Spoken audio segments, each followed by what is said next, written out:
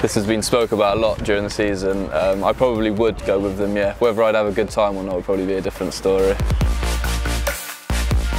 Um, we didn't lose, we drew against them.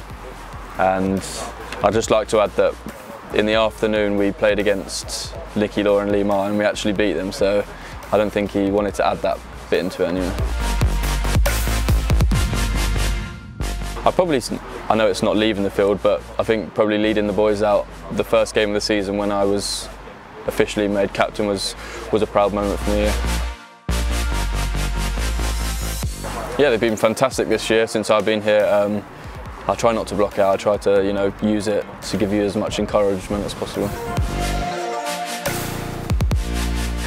I challenge him to a game, whether I'd win or not would be a different story, but I'm up for that. Who'd you be? I'll be XA, you can be anyone. Yeah, I think you know every, there's so much hype about that game. Um, I'm really looking forward to it. Red. Yeah, Devon's definitely my home. I think I'm settled down here with my family and my, my daughter was born down here, so um, we enjoy it very much. So yeah. So, Favourite place to visit? um, we like going for a walk down the beach every now and again. Yeah. I'd give it a good go.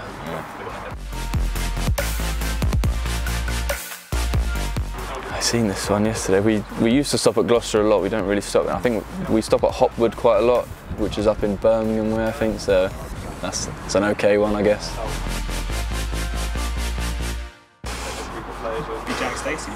Could be Stacey. Yeah, he's gone on to playing in the Premiership. Yeah, maybe Jack Stacey.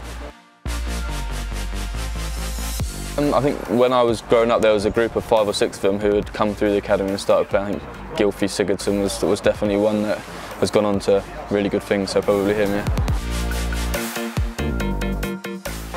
Probably Liam Sercombe because I've seen he give me a bit of stick on Twitter, so I'd like to give him some back.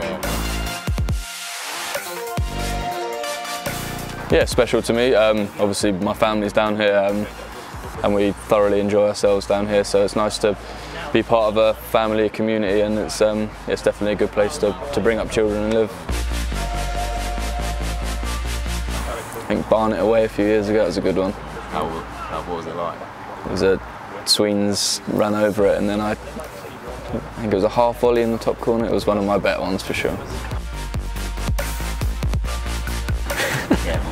Nothing with Pierce for sure.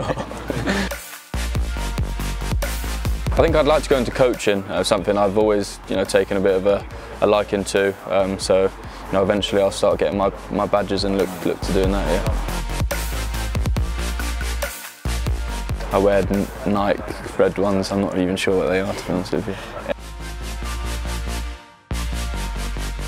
Yeah, there's um, obviously Jayden Stockley was here last year, got on very well with him. Um, Liam McAlinden, Troy Brown. Um, yeah, so there's a few. Yeah, since I first came down, the club's completely changed. I think the facilities, um, you know, the amount of staff we've got, the um, you know, behind the scenes it's really changed, and the club's a, a club going forward. So yeah. Yeah, it was massive for me. I think without him, you know, I probably wouldn't have come down here in the first place. Um, he really believed in me, and you know, I would do owe him a lot. So yeah, he was a big part of my early football career. Very proud moment for me and my family. Yeah, it was it was a special moment. Yeah.